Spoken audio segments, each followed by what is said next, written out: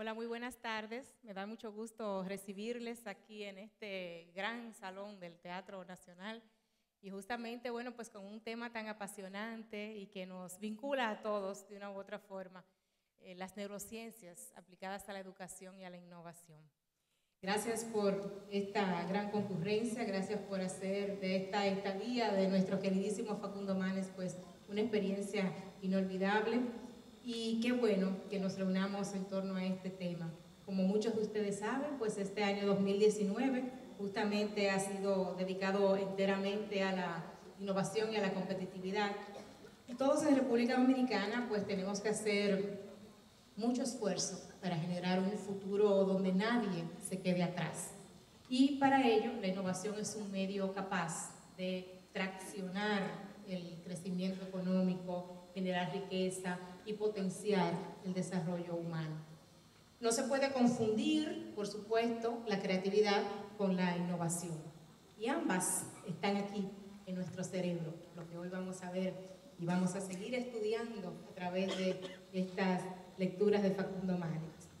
La primera, la creatividad, pues es la acción de generar ideas.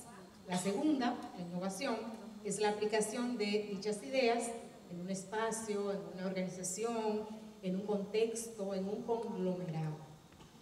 Como ha dicho William Coyne, la creatividad es el concepto y la innovación es el proceso.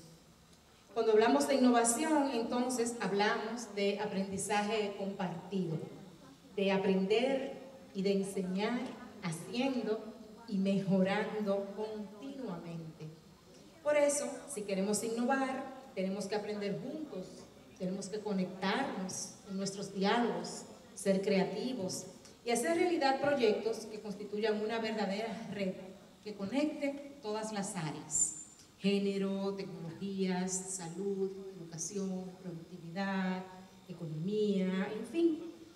Y ese es un objetivo muy ambicioso, pero la buena noticia es que no requiere más que dos cosas, buena voluntad y vocación, vocación de servicio en favor de los más desfavorecidos para hacerlo entonces una realidad.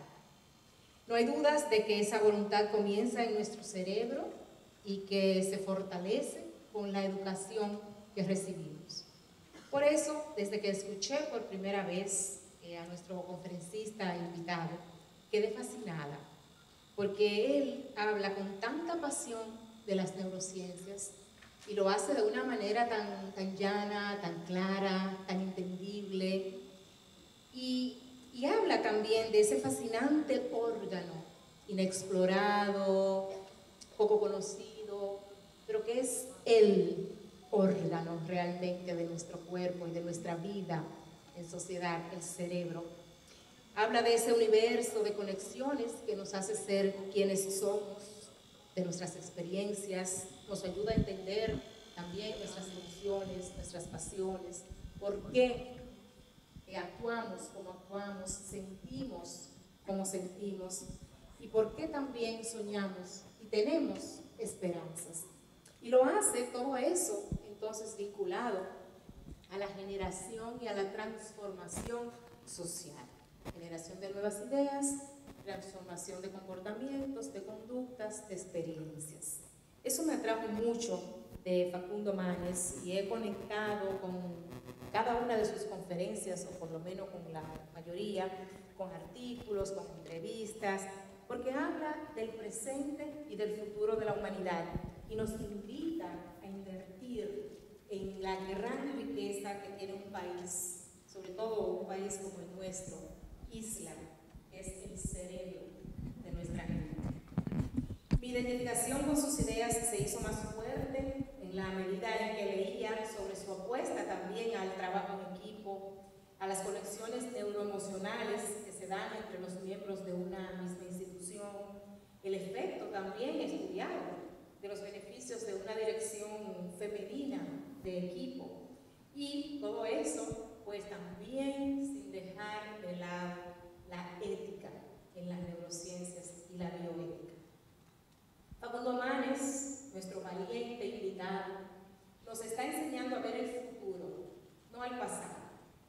Y es por eso que lo hemos traído aquí, a la República Dominicana, porque somos un país con una sociedad mayoritariamente joven que espera y exige además que tengamos cambios sociales inmediatos.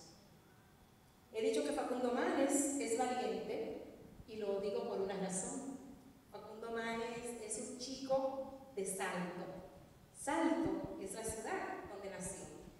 Y me llamó mucho, me atrajo el, tema, el, nombre de su ciudad, porque creo que también Facundo es un hombre que ha dado grandes saltos y está haciendo que la dé saltos agigantados en esta generación enfrentándose también a muchos obstáculos y reivindicando el valor de la educación en todo el mundo.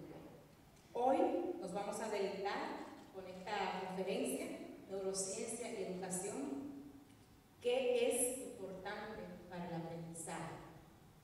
Porque la ciencia nos está acercando cada vez más a entender cómo funciona el cerebro humano y qué debe hacer el sector educativo para que nuestros niños y nuestras niñas, que son los que construirán el mundo futuro, pues puedan aprender más y mejor.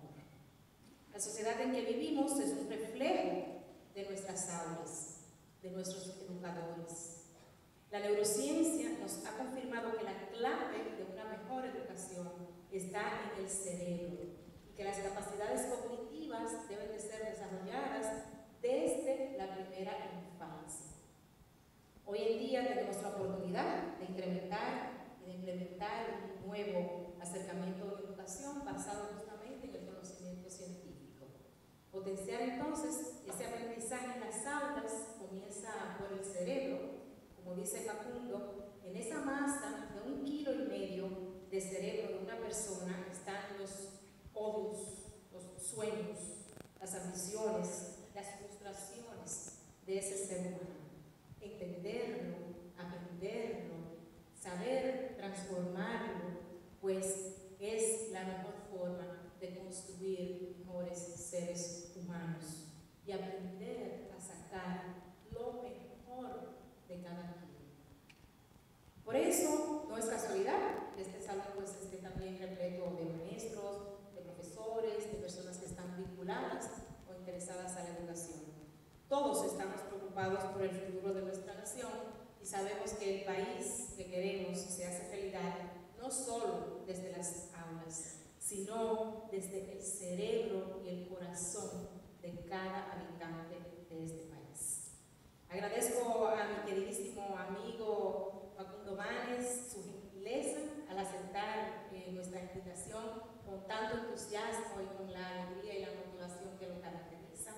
Estoy seguro que el país pues, le va a devolver el cariño y la hospitalidad hoy y mañana, pues eh, aprendiendo también del tema que le apasiona, que es la neurociencia. Hagamos que el conocimiento, mis queridos amigos y amigas, que el conocimiento y la innovación sean la gran apuesta de América Latina y el Caribe para este siglo XXI, para acabar con la miseria, con la pobreza y con la exclusión Necesitamos entonces hacer realidad un nuevo paradigma en educación de la mano de. Como dice Facundo, solo el conocimiento nos permite anticipar crisis, reducir brechas sociales y económicas, aprovechar oportunidades y agregar valor a lo que producimos. El saber es la mayor riqueza de un país y para aprovecharlo tenemos que impulsar a los ciudadanos la capacidad de innovar y presentar soluciones pertinentes y viables a las problemáticas que.